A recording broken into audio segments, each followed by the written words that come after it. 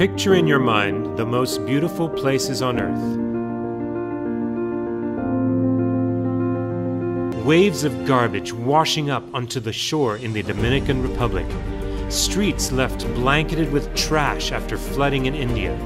Idyllic Pacific Island beaches and underwater scenery marred by plastic debris actual continents of plastic forming in the oceans, the largest of which is three times the size of France, with an estimated weight equal to 500 jumbo jet. And the problem is only getting worse. As of 2010, it was estimated that we had accumulated 6.3 trillion kilograms of plastic waste. And of this, 79% remains in landfills and the natural environment, polluting our planet. Every year, 13 million tons of plastic waste ends up in the oceans. It is expected that by the year 2050, a festering mass of 12 billion tons of plastic waste will be polluting our Earth. And the weight of plastic in the oceans will exceed the total weight of fish.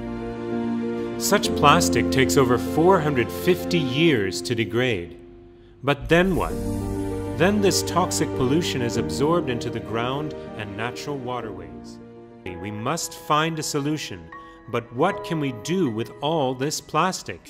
But to truly solve this global problem, we need something drastic, something earth shaking, something industrial and sustainable, partnership with SEPCO Industries Company Limited.